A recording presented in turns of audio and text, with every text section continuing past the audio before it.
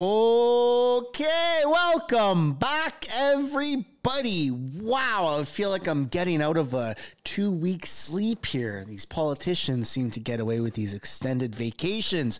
We are back in the house. Today's a big day. There is obviously a solar eclipse, which is using up most of the bandwidth on all of the interwebs today. But uh, as you can see per the title, it seems like Justin Trudeau has burst into flames because of the solar eclipse today. Before we get into the stream, they're doing statements by members right now, so we got a little bit of time. But before I switch screens and get into it, I do want to encourage everyone to smash the like button. We're fresh back. Let's start off with a big bang. Subscribe if you haven't yet already. It does really help grow the channel. We really surpass 100,000 subscribers. And once you are subscribed, there's a little bell icon that shows up. If you click that bell icon, that's post notification. It just adds a layer of insurance so you can actually be notified of upcoming videos. But more importantly, these types of live streams. And I am a man of my word. I have said that if and when this channel reaches 100,000 subscribers, it has, I will be going to Ottawa to watch one of the next question periods, which I am. I fly out tomorrow evening. That's right, ladies and gentlemen. I am going to Ottawa tomorrow evening. I'm not going to say which day I'm going to be attending question period. I, I, I don't want to be uh, I want to be a little bit mysterious about it, but I will be there. I will absolutely be there. I'll be in Ottawa uh, as of when Wednesday morning. Yeah, and I'm staying for a few days, so I'm looking forward to uh, to that. Thank you everybody for getting us to this point to 100,000 subscribers. I'm very excited about this, and um, yeah, I, I, maybe I'll run into some of you guys in Ottawa. I know there's a big crowd, uh, big viewership that actually resides in Ontario, specifically Ottawa and Toronto and stuff like that. So I will be there, folks. I will be there. So you're gonna want to make sure you're uh, you're subscribed to this channel as well as you're already likely subscribed to Mr. Sunshine Baby, uh, because I will likely do a live stream from Ottawa, right, right, in, right, not in Parliament, but outside of Parliament. It's gonna be pretty exciting. Anyways, I'll shut up. I'll get out of the way. Um, Hope it's Wednesday for you. Shh. Shh. Don't give it away. All right. Um, I'll get out of the way and we will watch question period together. And Here we go, folks. Châteauguay Lacolle, soon to be the Jardin de Napierville. You got a few minutes. You got uh, five or ten minutes before statements by members ends and question period begins. So go get yourself your coffee, your beer, whatever it is, your sandwich, your soup. Excellent programs. Go pay your carbon tax. Such as the Canada. get yourself comfortable. And the Canadian Dental Care Plan, the GST credit, the Disability credit, the Caregiver credit, and many more. Thank you, Mr. Speaker. The honourable member for Foothills. Here, here. On April 6th, I hope many Canadians had a wee dram to celebrate our Canadian Scottish heritage. It is Happy Tartan Day. This is to commemorate the declaration of Arbroath signed on April 6, 1320, signifying the independence of Scotland. It is a day to honour the strong bonds between Canada and Scotland and the immense influence this relationship has had on our cultures. Like millions of Canadians, and as chair of the Canada Scotland Friendship Group, I'm immensely proud of my Scottish connections. My wife was born there, and my kids were raised to honour their Scottish heritage. It started in Nova Scotia more than 40 days ago, but now Tartan Day is recognized across Canada to celebrate our deep Scottish roots. Last weekend, many Canadians donned their, proudly donned their kilts with their colourful family tartans, listened to bagpipes, maybe did a Highland fling or tossed a caber. Thanks for the super chat, David. Eleven eleven. I appreciate it, buddy. Next year to join with friends and family and celebrate Happy Tartan Day. Salante. Here, here, here, here.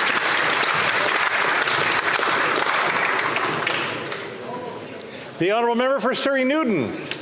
Waheguru Ji Ka Khalsa, Waheguru Ji Ki Fateh. Mr. Speaker, this month marks the fifth anniversary of Sikh Heritage Month.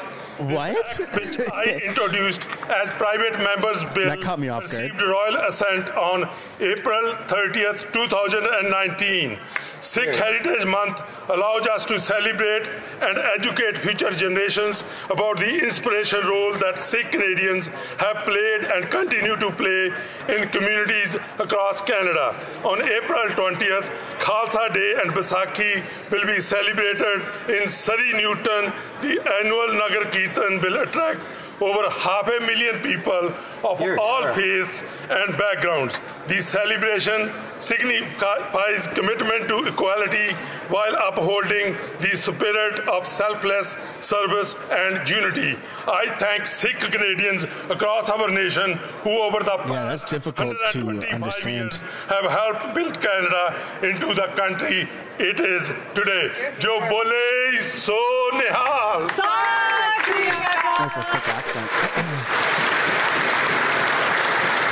The honourable member for Halifax. Mr. Speaker, it's widely acknowledged that schools play a fundamental role in assisting our youth in their intellectual and personal development. Today, then, I rise to commemorate the 175th anniversary of the Sacred Heart School of Halifax. Throughout its history, Sacred Heart has remained committed to the mission of its founder, St. Madeleine Sophie Barat, and her conviction that education has the power to bring about societal change. Over the years, Sacred Heart has provided generations of students with an exceptional experience. Let's try and see if we can get a thousand people in here before QP starts, folks. I need everyone who hasn't yet to smash that like in the button. world, all while still being the best for the world. Sacred Heart alumni are making significant contributions to our country, notably in medicine and research and culture. So, congratulations to Sacred Heart on their 175th anniversary, and thank you for the many contributions you make to Halifax and to the world. Wonderful. The honourable member for Sherwood Park, Fort Saskatchewan. This Prime Minister used to say that no relationship was more important to him than Canada's relationship with Indigenous peoples. And yet, this NDP Liberal government has been using Indigenous contracting to funnel money to well connected government insiders in ways that produce no actual benefit for Indigenous communities. right. This is a gross betrayal of taxpayers and of Indigenous peoples. David Yeo is the Arrive Scam contractor whose company made $8 million while, according to his own LinkedIn page, he was simultaneously a government employee. We still don't know what he actually did for the money. Yeo's two person company benefited from an Indigenous contracting set aside, even though no Indigenous communities saw any of the money. Indigenous leaders have warned that the Liberals' approach to contracting is encouraging shell companies and other modes of obfuscation to gain an advantage in procurement processes, all to the detriment of legitimate Indigenous peoples of Canada, communities, and businesses. It's time to end the corruption, to respect taxpayers, and to insist that indigenous contracting policies actually benefit indigenous peoples, not well-connected NDP Liberal insiders. The Honourable Member for Brampton South. Mr. Speaker, this week Sikhs in Canada and around the world are celebrating Vaisakhi and Khalsa Diwas. That is why today Sikh Canadians from coast to coast to coast came together to celebrate this auspicious celebration on the hill, where they attended a three-day long religious prayer followed by a kirtan and langar. I want to welcome and thank you everyone who took the time to celebrate with us today. Vaisakhi is a time for Sikhs to reflect on their faith, history, and values as they come together as a community to celebrate equality and the spirit of selfless service. This April, we also celebrate the fifth anniversary of Sikh Heritage Month, a time to acknowledge the achievements of Sikhs as they have been an integral part of Canada's history and reflect on the teachings of Guru Gobind Singh Ji, great. Thank you who established Khalsa Panth in 1699. On behalf of the residents of Brampton South, I wish everyone in Brampton and across the world happy Sikh Heritage Month and happy Vaisakhi. Thank you, Mr. Speaker. The honourable member for York Simcoe. Mr. Speaker, can you hear that? That's the sound of stomachs rumbling from coast to coast to coast. it's no wonder, with millions of Canadians lined up outside Oh, of food banks every month. But the hunger doesn't stop there. Every time Canadians see skyrocketing price of meat, butter, and vegetables, hungry. Every time they see the numbers on the gas pump keep ticking up and up, hungry. Every time they hear about another liberal ethics scandal, hungry. Every time they look to buy a home, pay rent, or renew their mortgage, hungry. Every time their car is stolen and drug use and crime rises in their community, hungry. Every time they see this out of touch prime minister hike their taxes again, hungry. hungry. Every time you go to Budapest. Canadians are hungry for new leadership from a conservative government that will axe the tax, build the homes, fix the budget, stop the crime, and bring home a Canada where Canadians aren't going hungry anymore.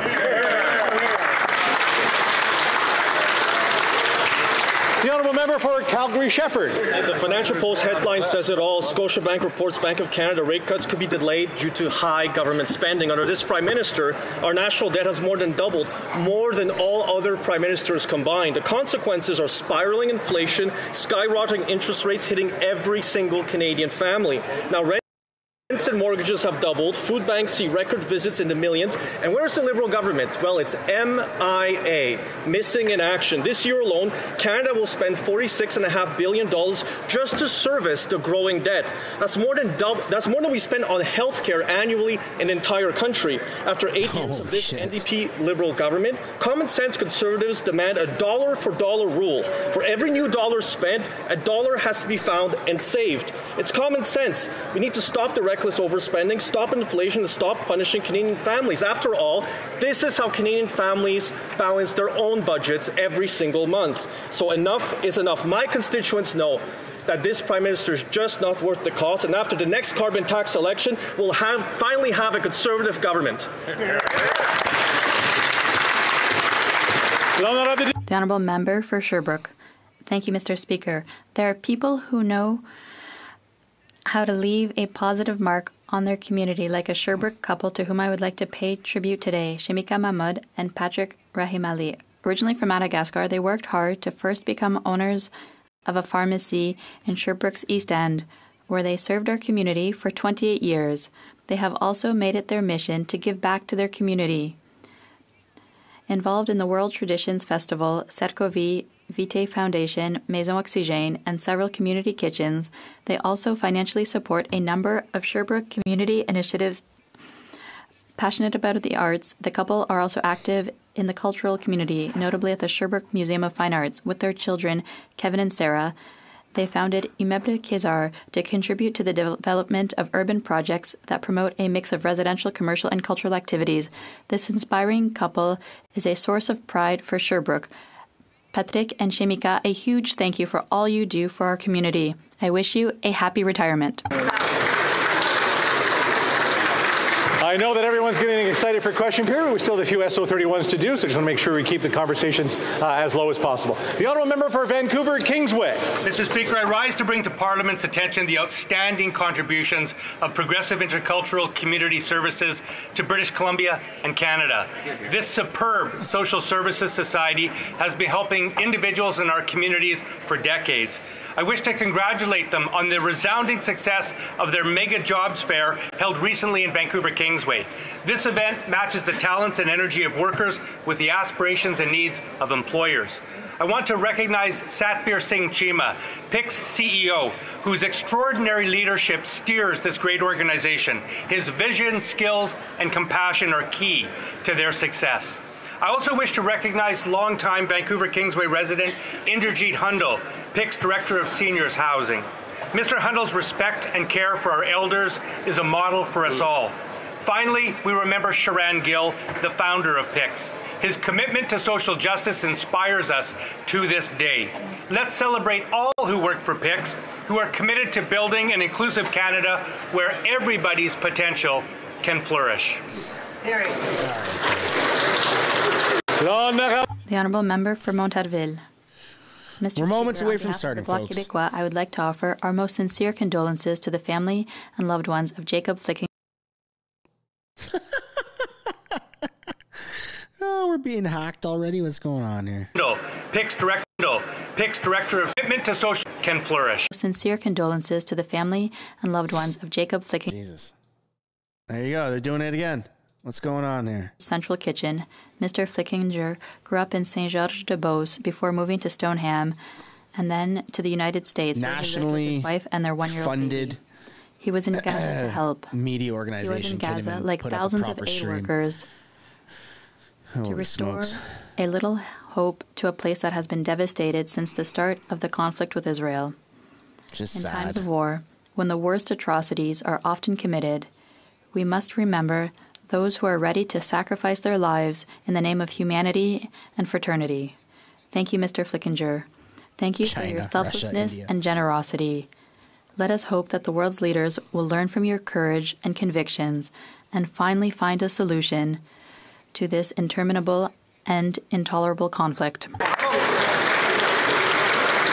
The honourable member for Battlefords Lloydminster. Mr. Speaker, the costly and punishing carbon tax is hurting Canadians. Families are being forced to choose between filling up their tanks, heating their homes, or feeding their families. Not only have Conservatives given this NDP Liberal government several different opportunities to spike the hike and axe the carbon tax, seven out of All 10 right, folks, let's try and get 500 likes before the uh, question period starts. Millions of If you haven't came yet, out in I opposition highly encourage to you to the smash the like button. 1st hike. Mhm. But what was the Prime Minister's response? Let them eat cake. Last week's 23% hike on gas, heat, and groceries is another hit to Canadians who cannot afford it. Today in Lloydminster and provincial border communities across the country, Canadians are protesting this devastating carbon tax. The Prime Minister cannot keep ignoring the pain and the suffering that his ineffective and costly carbon tax is causing them. Because in the next election, Canadians won't let him. Here, here. Well done. The honourable member for Halifax West. Speaker, seniors in my riding can count on Chebucto Links for help to put food, help, healthy food on their kitchen table. Every Pretend the like button is Trudeau's face. 10 pound produce Smash bundles it. directly to senior doors for I just mean- $5. And with no support You're allowed to United Way, interpret things your own, your own imagination. free, and double the number of seniors will receive them. This is great news for residents of Fairview and Clayton Park, and it's made possible by the vision of the United Way and the selfless efforts of the volunteers at Chebucto Links.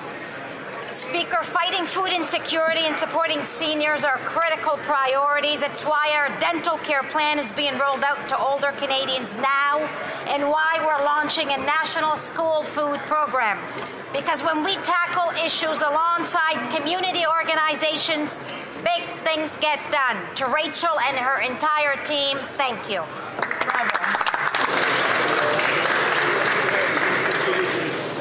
Order. I have the honor to inform the House that the Clerk of the House has received from the Chief Electoral Officer a certificate of the election and return of Mr. Jivani, member for the Electoral District of Durham.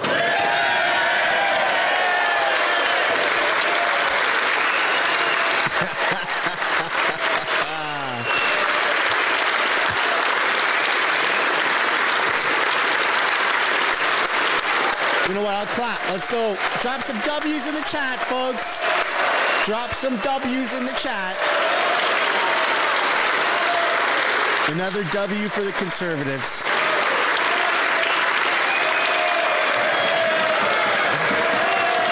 Look at that, man.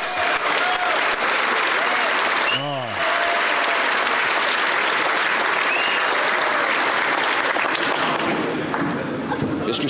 Speaker, it is an honor to present to you Jamil Jivani, the honorable member for Durham. He has taken the oath, signed the roll, and now takes the right to claim his seat. Member, take a seat. There you go. There you go.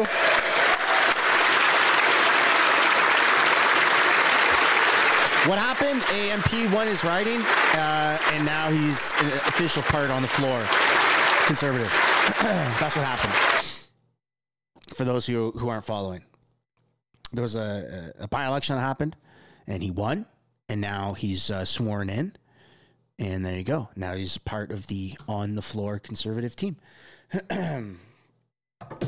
Bada bing, bada boom. You're going to see a lot more of that. Say every day could be like this. Oral questions. New guy from Durham. Oral. Oral questions. Questions. Honorable leader of the opposition. When the conservatives, the common sense conservatives, want to build homes, cut taxes, fix the budget, and stop crime, the prime minister is not worth the cost after eight years of inflation. And about inflation, we have a pyromaniac who is fanning the flames of inflationary fires with oil instead of water we want to bring. Can the Prime Minister recognize, with all of this billions in spending, it's getting hot and expensive for taxpayers? The Honourable Minister of Natural Resources. Merci, Monsieur le Président. Thank you, Mr. Speaker. The Conservatives, if they want to talk about the economy, Why does he have a be happy sunflower on his suit? With two Does his suit come in million immense? Canadians more. Uh, we've lifted 3 million Canadians out of us. poverty since Bada we bing. came to power, and we will continue to invest in Canadians rather than cutting programs such as uh, what the Conservatives would do. The Honourable Leader of the Official Opposition, the Conservatives. Uh, want to fix the budget to reduce inflation and interest rates, but the Prime Minister is not worth the cost. Mortgages, according to the lead economist of Scotiabank, inflationary deficits from this Prime Minister are driving up interest rates by 2% and preventing the Bank of Canada from reducing them. Canadians may lose their homes because of these big announcements with billions of dollars in inflationary spending. Can the pr- Prime Minister recognize that his spending and mortgage rates are not worth the cost? Oh, it's for The. Honourable Minister. Thank you, Mr. Speaker.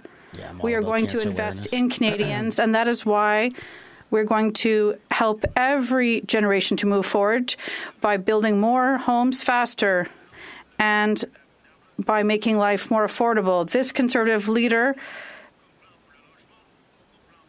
uh, is does not believe that everyone deserves a fair chance. We want to put uh, fairness first. Well, we do have a common sense conservative plan to axe the tax, build the homes, fix the budget, and stop the crime. While this prime minister is not worth the cost after eight years. On inflation, with all his multi billion dollar announcements, he is like the pyromaniac pretending to be a fireman, except the hose is spraying gas on the inflationary fire rather than water. According to the Scotiabank's chief economist, these inflationary deficits are driving up mortgage payments. Doesn't he realize that all of his spending is putting the heat and the costs on our homeowners? The Honourable Minister of Natural Resources. Thank you, Mr. Speaker. This government has a plan for an affordable and prosperous future.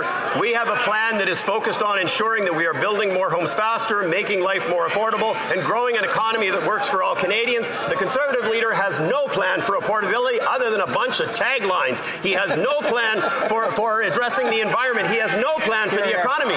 We believe in ensuring that Canadians have a fair chance to succeed, and we are acting on that. By drowning all Canadians in debt. Mr. Speaker, we our plan is to axe the tax and cap the spending to bring down inflation and interest rates. We will have a carbon tax election. And people will choose whether they want to quadruple the, ca- the tax to 61 cents with the NDP and the Prime Minister, or axe the tax under my common sense leadership. And in the meantime, people can't afford to eat. So, will the Prime Minister show a little bit of compassion and accept my common sense demand to axe the tax on farmers and food? You ever notice that the Liberals, it's always we are going to instead of we have It's done? laughable when I hear the conservative leader talk about pathetic. affordability. He mentioned in a previous question some concerns he has around housing policy. His plan to build more homes is to cut investments in home building, is to raise taxes on those who are building homes, and when it comes to actually changing the way cities build homes, his deputy leader held a press conference to explicitly declare that conservatives were siding with the NIMBYs when it comes to zoning reform. We are going to do what's necessary to put money on the table to build more affordable housing, create market conditions to get more homes built, and change the way that cities build homes so we can solve the housing crisis. The Honourable Leader. They, they should be solved by the current government. caused the housing crisis, Mr. Speaker. Under His role as housing minister, the amount of a paycheck necessary to make payments on an average mortgage is gone up to a record smashing 64% from 38%. And he is the only one, along with his prime minister, that wants to raise taxes on home building. A massive carbon tax on the building materials that go into assembling those homes. So, will the Prime Minister, instead of hiking the tax, accept my common sense demand to axe the tax on farmers' food and houses at the same time? They caused the problem and they want to sell the solution. Uh, Mr. Speaker, it's interesting because he's actually put his plan on the record, and his plan includes putting the GST back on apartment construction for hundreds of thousands of middle class homes in this country. He has one of the worst records in the past decade of anyone when it comes to getting homes built when he had the position responsible for housing in Parliament. Mr. Speaker, while he was minister, they built exactly zero new apartments, zero uh, cooperative units, and only six affordable housing units across the entire country. We are helping get hundreds of thousands of homes built in this country, and we will do what it takes to solve the crisis once and for all. They literally made it more difficult by raising The honourable member taxes for on home builders by increasing the carbon tax. After pharmacare, dental care, and MAID, you'd think we'd seen the last of federal interference in Quebec's jurisdiction. No, the Liberals have announced that they also want to tell Quebecers how to build housing. This is the same government that lost control of immigration, created Arrive scam, which is unable to pay its own employees through Phoenix, that created a monumental passport crisis, and it's unable to manage its own borders. Imagine this same government wants to lecture the provinces and Quebec. Are they not at least a little embarrassed? The Honourable Minister. Mr. Speaker, investing in housing in Quebec, is the Bloc against this? Investing in our daycares? Is the Bloc against this? Making sure that our young Quebecers go to school with full tummies? Is the Bloc against this? If that's the case, may they do like the Conservatives. Bloc Conservatives seem to be on the same side. It's the Bloc Conservative Party. The Honourable Member for La Prairie. The Prime Minister has the gall to add that if the provinces don't want to bend to his conditions, they don't have to take federal money. Do you know what we call that, Mr. Speaker? We call that blackmail, and not with federal money. There is no federal money. It's Quebecers' money. This government, incapable of doing its own job, has no legitimacy to deny Quebecers their share of the money they pay in taxes. The Prime Minister cannot take the money of Quebecers hostage. He needs to stop playing political games. The Honourable Reminder Minister. everyone, if you haven't yet, now would be the time to not smash the like government of button and Quebec. We're subscribe. just in discussions with the Quebec government, and in fact, the Quebec minister said this week that they are convinced that they can find agreements that will be win-win. Mr. Speaker, that's what the Quebec government thinks, and that's what we think. Is it It's just me or for his Quebec a eyes win for too close to his nose? It's just not a win for the bloc. Once again, they're doing the same thing as their friends, their conservative colleagues, and it's the same thing today. It's the conservative bloc together. The honourable member for Burnaby South. How much money the Conservatives gave away to big corporations when they were in power? $60 billion in free money. Now, imagine what we could have done with $60 billion. Instead of giving them to corporate handouts, we could have built a million affordable homes. Now, the Liberals love to criticize the Conservatives, but they maintain those same corporate handouts. So, my question to the Liberals will they stop the free ride for CEOs? Will they stop the $60 billion in, co- in conservative corporate handouts and, s- and start investing to build homes that people can afford? Start building a life that people can afford. The Honourable Minister, of Natural Resources. Thank you, Mr. Speaker, and thank you, the honourable member, for the question. Fairness is extremely important for Canadians. It is important that we are building a society that is socially just, that is prosperous, and that is environmentally sustainable. Our budget is going to focus on building more homes faster, making more life more affordable for Canadians, and growing an economy for the future. We are very proud of the work that we are doing. We are certainly ensuring that fairness informs everything that we do. The honourable member for Burnaby South. Had nothing to say about the conservative corporate handouts that they maintained. The last time the Conservatives were in power, big business got a big handout. A blank check for $60 billion. A gift that the Liberals kept up.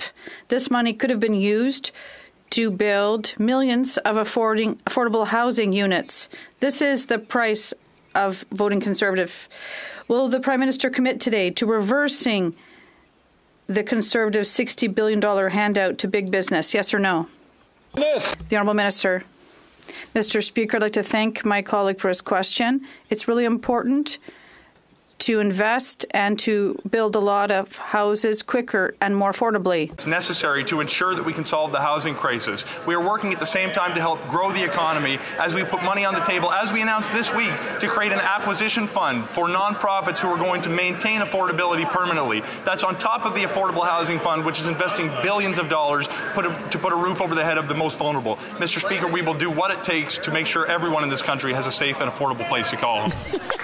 this guy lost a million people. How is he still employed? Last week, this woke prime minister hiked his carbon tax scam 23%, despite a majority of Canadians making him spike the hike. As we see record smashing food bank usage across the country, farmers will pay another billion dollars into this scam, making the cost of groceries even more expensive. After eight years, this Liberal NDP government is not worth the cost or corruption. Will he finally axe a tax for farmers and food and pass Bill C 234 in its original form in next week's budget? Or is his agenda to push even more families into the food banks? The Honourable Minister of Employment and Workforce Development.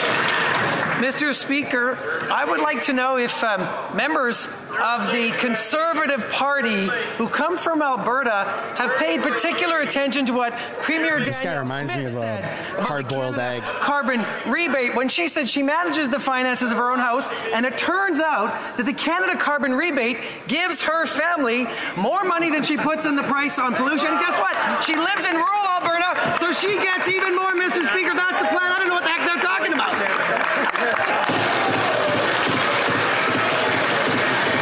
The Honourable Member for Calgary Forest Lawn. What we'd like to know is what his next job is, because after the next election, maybe this carbon tax scam will be gone.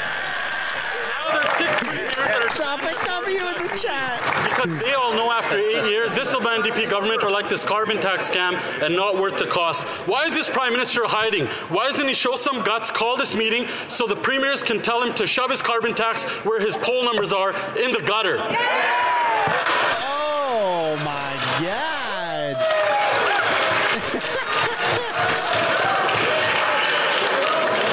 I, I know. I know we've been Look at Blair packing up his stuff. He want. He doesn't want the heat. each other, but try to keep our comments as. as Blair's running away. The Honourable Minister of Employment and Workforce Development. Mr. Speaker, it's nice to see how focused that particular MP is on me and my career. Guess what? My colleagues on this side of the aisle and me, we are focused on the people of Edmonton Centre. We're focused on Albertans. We're focused on Canadians, making sure they can pay their bills, making sure they have good jobs, making sure that we're fighting climate change, having a national school program. What they're doing is just bluff and bluster and lots of hot air. We're going to be here fighting for Canadians each and every day.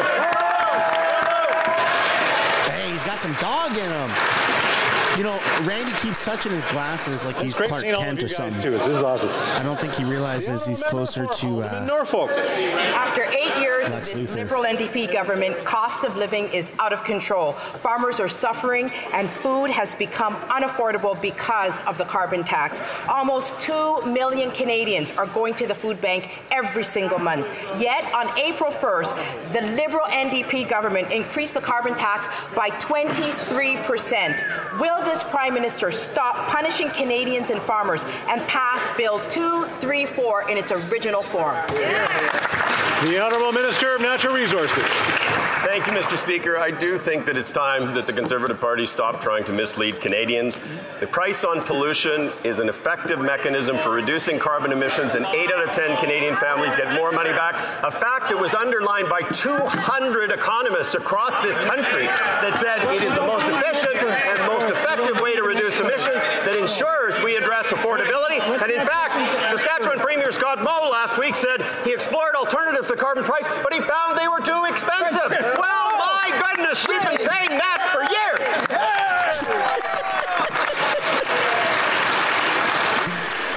I didn't know the Liberals could yell. Canadians can't afford to live because of the carbon tax. Common sense conservatives will axe the tax, build the homes, fix the budget, and right. stop the crime. After eight years of this Liberal NDP government, rent and mortgages have doubled. The Liberal NDP government is just not not worth the cost or the corruption. Will this Prime Minister commit to immediately passing Bill 234 in its original form, cancel the carbon tax, and once again make life affordable for Canadians? The Honourable Minister of Natural Resources. This is the fundamental problem with this remade Conservative Party, where policy is based on ideology and ignores all of the facts. 200 economists from across this country underline that the price on pollution enhances affordability for those on modest incomes and addresses climate change in an effective manner. Even Scott Moe and Danielle Smith have said that. And these folks sit on their hands, these climate denying conservatives. It is time they listen to people who actually know what they're talking about and abandon their plan to simply let the planet burn. Oh, You're right. Taxes are going to fix Honourable everything. for Charlesbourg Haute Saint Charles. He's Mr. absolutely Speaker, right, I was in Trois-Rivières last week, where the housing vacancy rate is 0.4%. Yet a new CMHC report shows that construction will drop drastically over the next year. Uh, as a result, CMHC predicts that demand will drive up housing prices, but it doesn't make sense. Does the Prime Minister realize that people will end up in the streets because of his insane policies? The Honourable Minister. Thank you, Mr. Speaker. My colleague is right to raise the issue of costs and affordability of housing, particularly in Quebec. And that's why it's so surprising that the Conservatives are against investment that we're making for affordable housing, including social housing in Quebec. First, they perhaps noticed a few weeks ago, we announced that we will be reaching objectives for affordable housing construction. And secondly, they still haven't apologized, to the best of my knowledge, for the accusations they, the insults they made and, uh, with respect to Quebec members of Parliament, including those locally. The honourable member for Charbonneau Saint Jean, Mr. Speaker, what we saw over the past week are only photo ops because current programs that are being announced as new have been in place since 2017. And since then, nothing has almost been done with these programs. So, once again, photo ops, uh, they don't work. What we're seeing now is that for eight years now, there's been out of control spending. Will the Prime Minister finally listen to the head of the Bank of Canada and stop his uncontrolled, uncontrolled spending that do nothing but drive up uh, interest rates? The Honourable Minister. Mr. Speaker, if my colleague is looking for photo ops, I would ask him to come with me to visit a project in his riding, the Monte Rosso. We haven't seen him for the past few weeks since project was announced. Ms. Marchand was there a few weeks ago, and they seem to have forget in his own riding. Hundreds of housing units were built, rather than the only mere six units that his uh, leader built when they were in power the honourable member for Longueuil Saint Hubert. Mr. Speaker, if Ottawa wanted to accelerate housing construction in Quebec, they would pay Quebec the housing mo- money. We're ready. We have our own standing programs. We're the only ones in Canada. Simply announcing uh, uh, unconditional transfers would suffice. But no, the Liberals are threatening to deprive Quebec of this funding if it refuses their conditions. And we're announcing a dispute with the federal government until 2025. We have a housing crisis. People want funding, not bickering. Why not just pay Quebec its share without strings so we can do the work now, not in 2025? The Honourable Minister of Infrastructure and Housing, Mr. Speaker, like my Quebec's well, still a my colleague Canada? is looking for disputes. We're looking for a solution. Yes, there's a houser, housing accelerator fund. There are discussions underway. We have reached an Thanks agreement membership. for several Waffles, billions to aff- build affordable housing for all provinces. So we're going to continue to make the necessary investment to address future housing in Quebec and across the country. The honourable member for Longueuil Saint Hubert. It's Thanks not just a question of jurisdiction because when the government gets involved, it takes longer. It's what it's true. Quebecers want the government to work together, but the federal government is not doing it. The Liberals have said it themselves. They want to uh, squabble until January 2025 to impose their conditions. Who does this help today? Who does it help to know that there'll be no construction starts in 2025 because the federal government is not working as a team? The Honourable Minister of Transportation. Mr. Speaker, my colleague is talking about squabbles, but they are that undisputed champions of these squabbles. they seem to take Man, that's a mighty fine looking That's watch on his lives. wrist. It's the raison d'etre to bring these to Ottawa. And as I've said, Mr. Speaker, we're investing in housing, unlike the Conservatives, and they are going to vote with the Conservatives, though. We don't want children to go to school hungry, but they're going to vote against that. That's the new Bloc Conservative Alliance. The Honourable Member for Longueuil Saint Hubert. Mr. Speaker, we are lacking 5.8 million units by 2030, and the Liberals still find time to squabble instead of taking action. If their priority was to accelerate housing, they would give the money to Quebec. Are they trying to accelerate housing or slow their slide in the polls? The new Liberal housing announcements are taking hostage Quebecers who are struggling to find housing with their own money for electoral purposes. In the midst of a housing crisis, is this putting priorities in the right place? The Honourable Minister of Transportation. Mr. Speaker, once again, we are in discussions with the government of the Quebec, but the Bloc is not speaking on behalf of the Quebec government. Actually, are campaigning against the current government, against the Parti Québécois. And in the meantime, we are reaching agreements with Quebec on housing, on daycare, on regional internet access, on many measures, Mr. Speaker. Why? Because it's good for all Quebecers.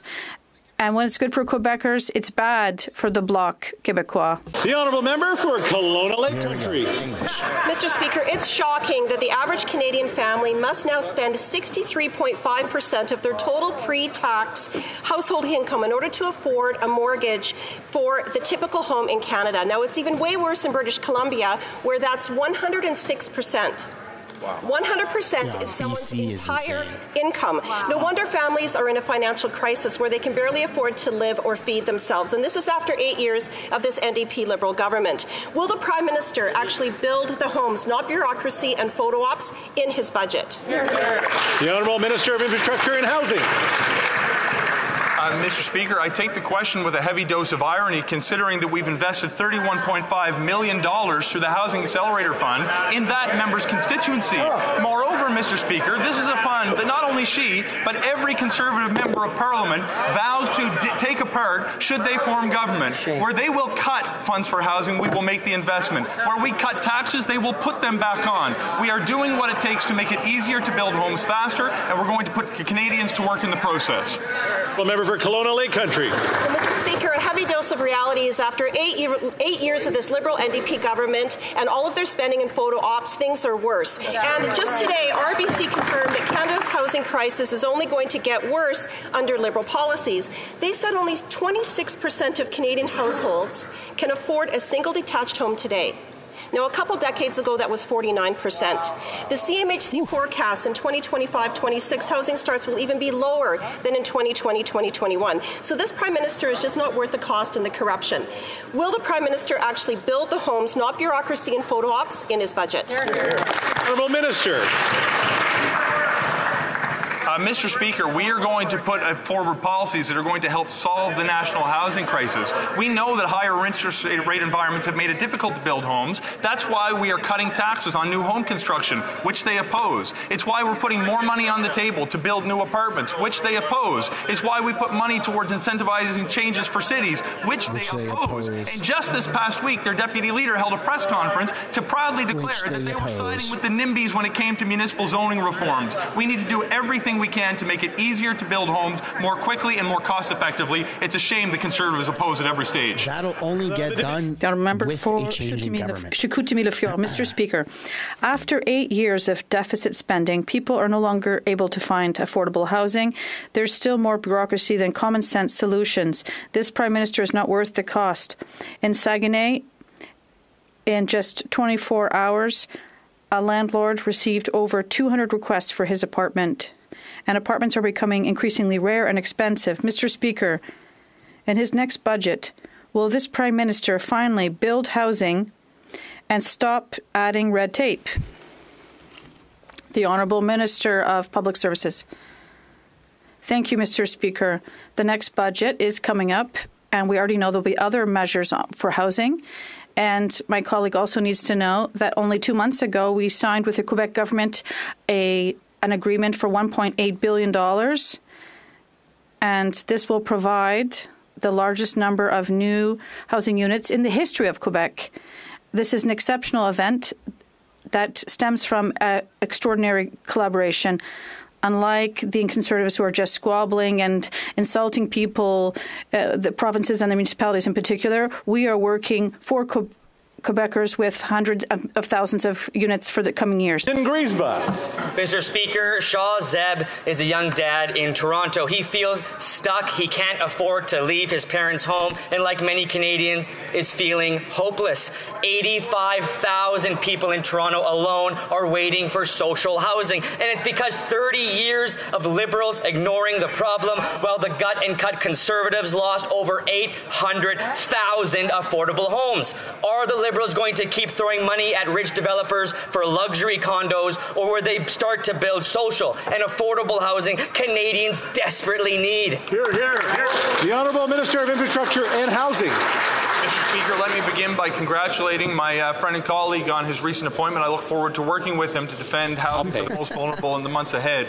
With respect, Mr. Speaker, we have put investments on the table that are building affordable housing for low-income families over the past number of years, and we are accelerating that work. The upcoming federal budget is going to include $1.5 billion to help nonprofits acquire social housing so it can be kept affordable forever. We have made in the fall economic statement an additional billion dollar investment to build more affordable housing stock, and we're working with provinces and territories by putting federal money on the table and yeah, but it doesn't matter to help if they have all these the permits crisis, in place. including for the most vulnerable. I'm looking forward to continuing this work alongside my colleague. The Honourable Member for Nunavut. It's just The bureaucracy. grocery prices in the north are still sky high. In the latest flyer from NorthMart in Iqaluit, a jar of pasta sauce is over $10. When I asked the Minister of Northern Affairs about the nu- Broken Nutrition North program, he pointed to internal reviews and studies. Indigenous peoples and Northerners do not need more studies. They need to put food on the table. When will the Liberals stop the delays and fix Nutrition North so people can put groceries on the table?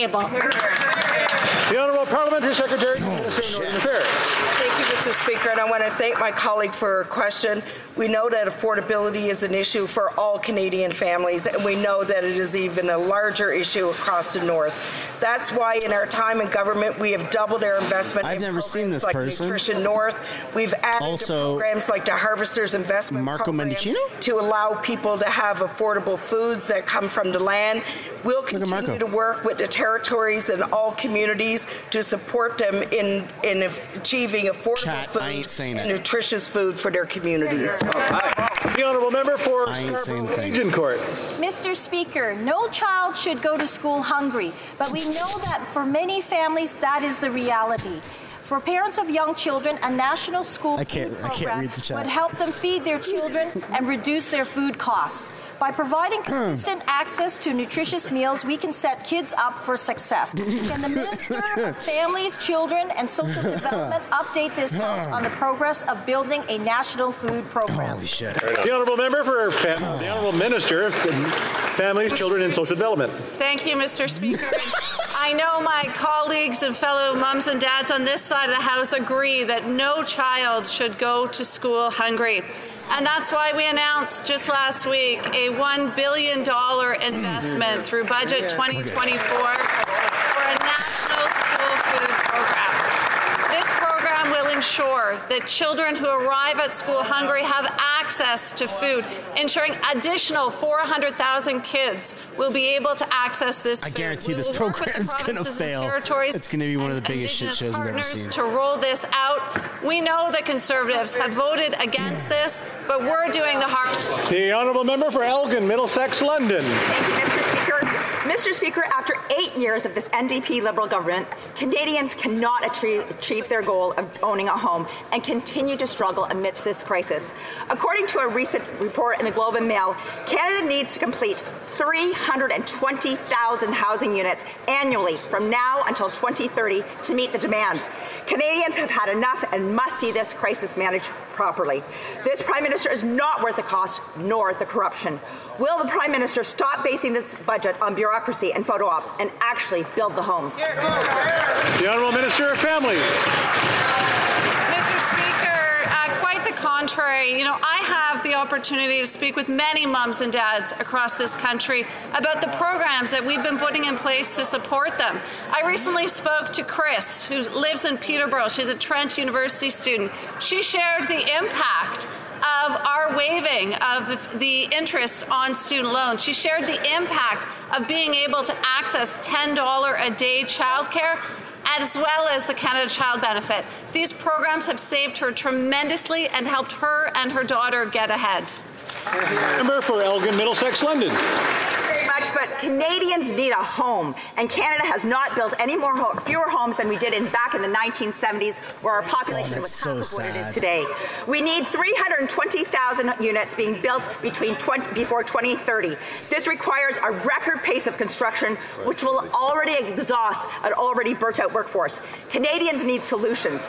This Prime Minister is not worth the cost. Will this Prime Minister stop making announcements and just get the houses built? The Honourable Minister of Housing. Stanley. Helps moms and dads across this country afford a home, Mr. Speaker? being able to have access to $10 a day childcare and get back into the workforce. We're seeing record numbers of women, of moms get back into the workforce, giving them the opportunity to contribute to their family finances and be able to afford a safe place to live. Contrast that to the Conservatives' continued fear mongering. On this side of the House, we're doing the hard work to support families. That's right. The Honourable Member for Mégantic L'Érable. After eight years of this Liberal government, finding housing in Canada is a nightmare. It's, it's ironic to see the ministers and prime ministers traveling the country boasting how uh, incompetent they've been in terms of housing. And the proof is that the CMHC, CMHC reminded them last year that uh, average home prices doubled last year, and that is under the Liberals. Will next week's budget finally be used to build homes? Or is it going to increase red tape? The Honourable Minister. Mm, we already know that one. Mr. Speaker. Obviously, next week budget is going to contribute to even more housing, but let's uh, think about the numbers: six and eight thousand. The uh, conservative leader across the country created uh, six affordable housing units. But in the past week, uh, we've signed an agreement with Quebec for to, to build 8,000 housing units just for Quebec. So unfortunately, my conservative colleague, colleagues uh, in Quebec but he should be like uh, are not supporting the Liberals. So uh, hopefully they'll be able to contact us. Monsieur le Président, Mr. Speaker, what the minister needs to know is that, that when the member of Carleton was a minister, all housing was affordable in Canada, Mr. Speaker. Now the Liberals have uh, doubled home prices for all Canadians. Young people would think that they'll never be home uh, homeowners. Seniors can no longer pay their rents. They have to stay in substandard housing, Mr. Speaker. 80% of people are going to have to renew their mortgages, but they're worried they won't be able to make their payments. Mr. Speaker, once again, will the Liberals finally use common sense next week by announcing that they're going to build housing and not just create more red tape? The Honourable Minister. Thank you, Mr. Speaker. My colleague is right. All affordable housing built uh, by uh, all, all, six units of affordable housing were affordable. But uh, we're going to create, uh, build hundreds of thousands of affordable housing units under the agreements we've signed. Just in Quebec, we're talking about 8,000 social housing units that are planned for next month. That's a historic agreement. And uh, we signed it with the Quebec government. The Honourable Member for Jonquière while the federal government encroaches on Quebec's areas, areas of jurisdiction, it, it, should look at its own areas of jurisdiction. The Prime Minister has finally admitted that immigration levels have exceeded our integration capacity. But who's the irresponsible person who increased permanent immigration without thinking of houses, schools, or health care? Who is this reckless individual who called people xenophobic when we talked about integration capacity? Mr. Speaker, if only we knew who this person was, could could be even the same person person who's racking up debt. Does the Prime Minister know the name of this irresponsible individual? L'honorable ministre. The Honourable Minister. L'honorable. what's going on? What the um, member across the way doesn't want to recognize is that we have an excellent uh, relationship with the Quebec government. I visited with the minister to see where we can work together. We agree to that we want to partner to ensure that uh, temporary uh, people here who have the ser- have the services they need. Thank you, the honourable member for Jonquière. Since the uh, Prime Minister is responsible for the largest population increase since 1957, many people think are blaming him for the housing crisis. Sure, he lit the fire, but is he trying to put it out? Did he lower immigration targets? No. Did he lighten Quebec's loads in terms of asylum seekers by sending them elsewhere? No. Has he reduced temporary immigration? No, he wants to hike it to 2 million. That is the highest level since last year, but the highest in history. Now that he sees that there's an integration, integration capacity problem, is he going to fix it? The Honourable Minister of Immigration. The Bloc Québécois sh- should uh, watch the news because we said that we were going to reduce uh, the level of uh, immigration from 7% to 5%. So where would they think, uh, where do they think that we should cut then? And they should need to be specific because they all have temporary workers in their ridings. So they need to be clear on what they want. Presenter. Mr. Speaker, Canadians are clear on the two most important economic issues we face inflation and high interest rates and they understand that government de- deficits cause inflation. Runaway deficits cause runaway inflation. This year's deficit is expected to be $47 billion, $7 billion higher than forecast. To say this is a runaway is an understatement. The Bank of Canada, the governor has been clear deficits are the main factor keeping interest rates high.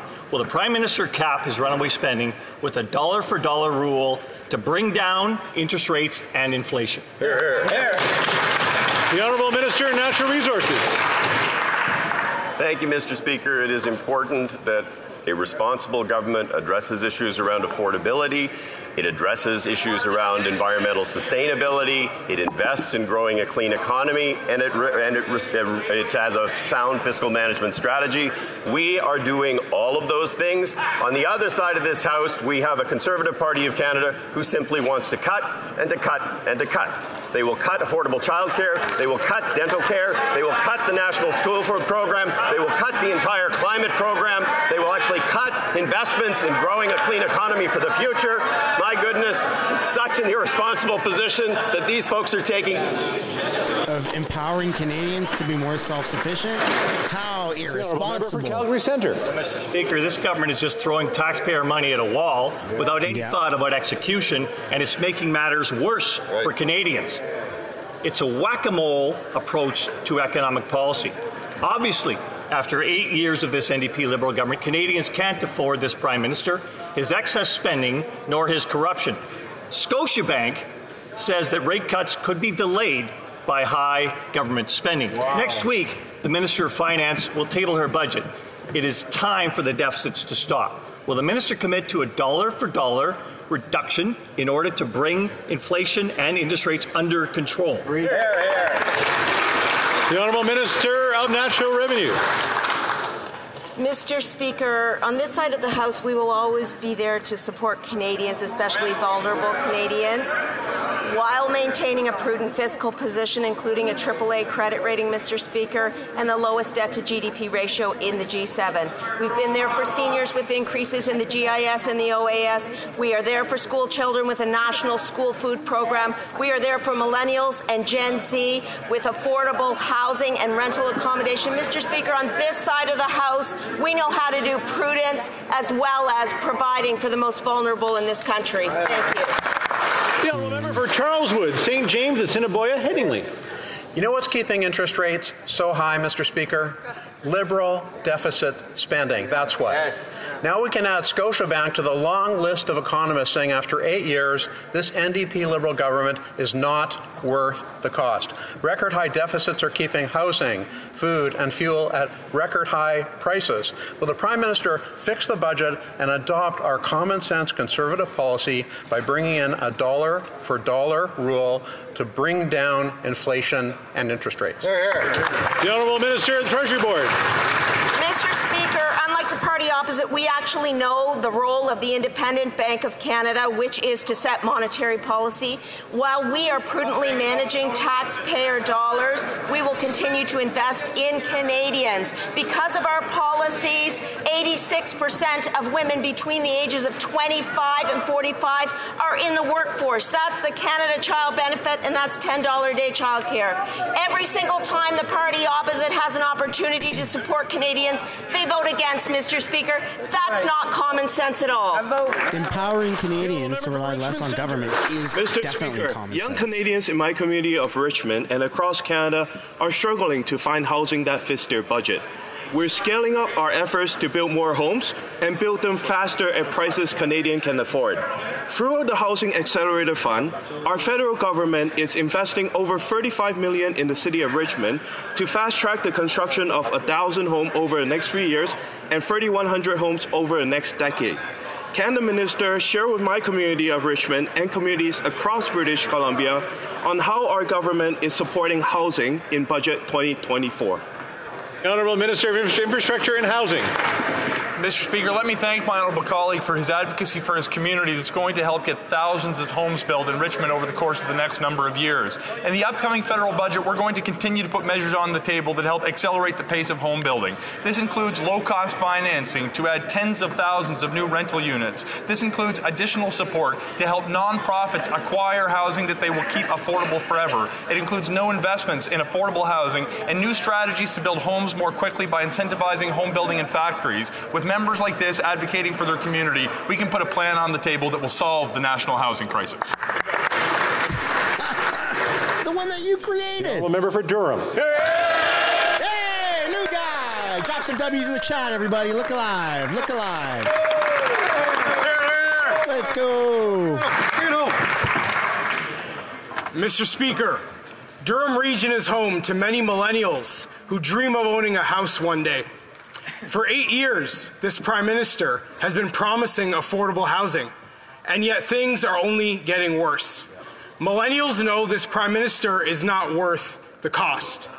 The Liberal NDP government continues to announce expensive photo ops in the lead up to the federal budget. But we know, as millennials, that we deserve better. That's right. How can we ever believe any of these broken promises from the Liberal NDP government again? Hey, there you go. First time on. That was good. That was good. Infrastructure and housing. Mr. Speaker, let, let me begin by offering my sincere congratulations to our newest colleague in the House of Commons. It's wonderful to have you here. What he may not realize, Update Mr. your resume, Speaker, Sean. new to the House, is that his leader is actively campaigning on commitments to build fewer homes than we are already projected to build. He may not realize that the Conservative leader has promised to raise taxes on home building. Oh. He may not realize the Conservative leader has pledged to cut funding for home building, and he may not realize that his party held a press conference last week to say that they don't want to do anything on municipal reforms and have decided to side with the NIMBYs. Mr. Speaker, over his time here, I hope he comes to see the light and gets with a plan that will build more homes. Here, here. The Honourable Member for Kamloops, Thompson, Cariboo. Mr. Speaker, after eight years of this Liberal Prime Minister's radical safe supply agenda, we see lives being put at risk. After this NDP Liberal government decriminalized hard drugs, nurses now in northern British Columbia are being told to allow patients to use hard drugs in their rooms and have weapons in their hospital rooms. This, Mr. Speaker, is unfair and unsafe for workers and patients. Mr. Speaker, when will this Prime Minister wake up and realize that his radical drug policy just isn't worth the cost? Honourable Minister of Mental Health and Addictions.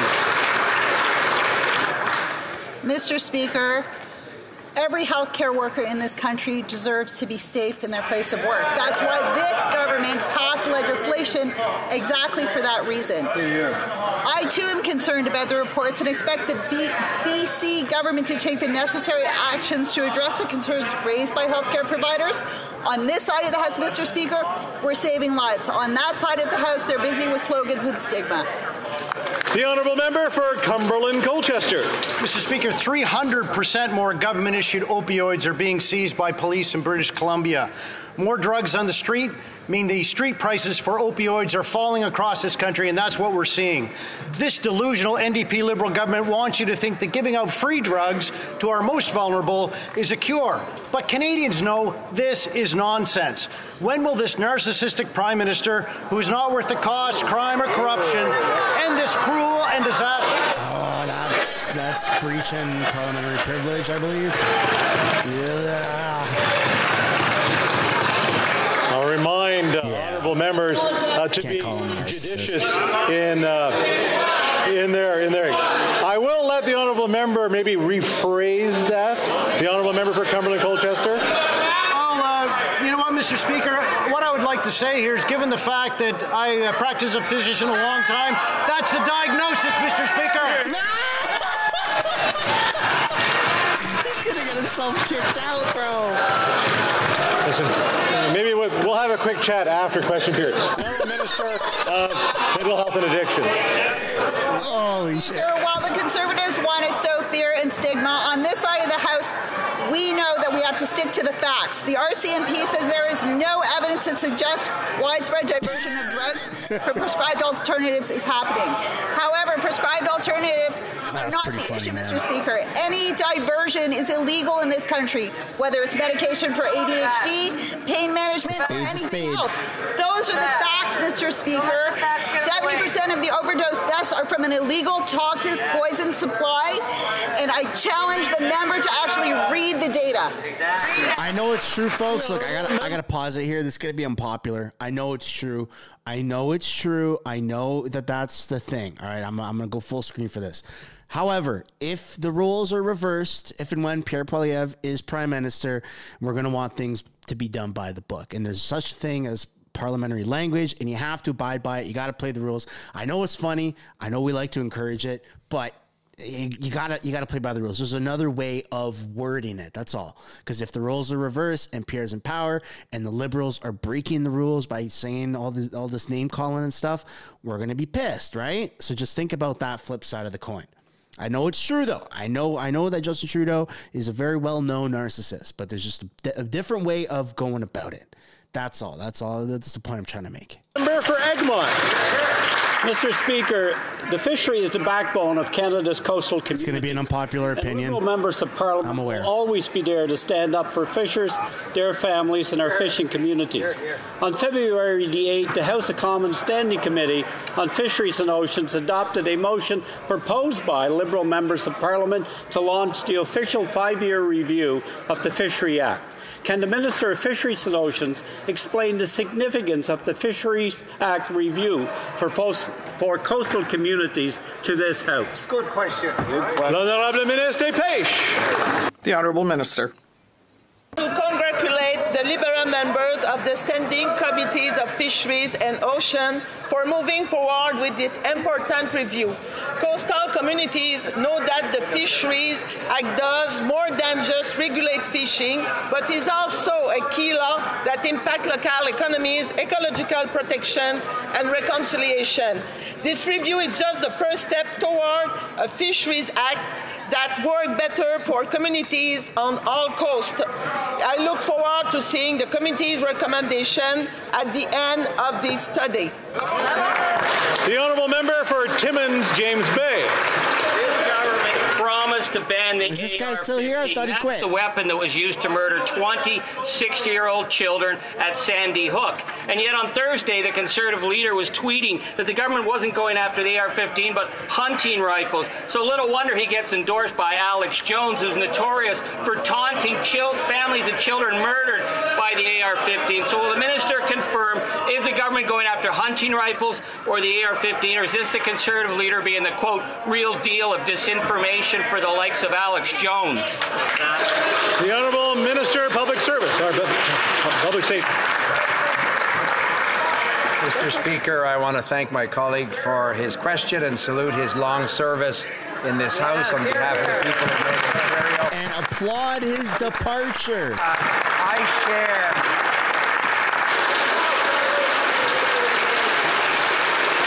applaud his departure. Good job, buddy. You're doing the right thing. You're leaving. The Honourable Minister of Public Safety. I've never had that much applause, Mr. Speaker, in the House before. Uh, Mr. Speaker. Yeah, you sure did when you invited a Nazi. Concern about the conservative policy with respect to gun control.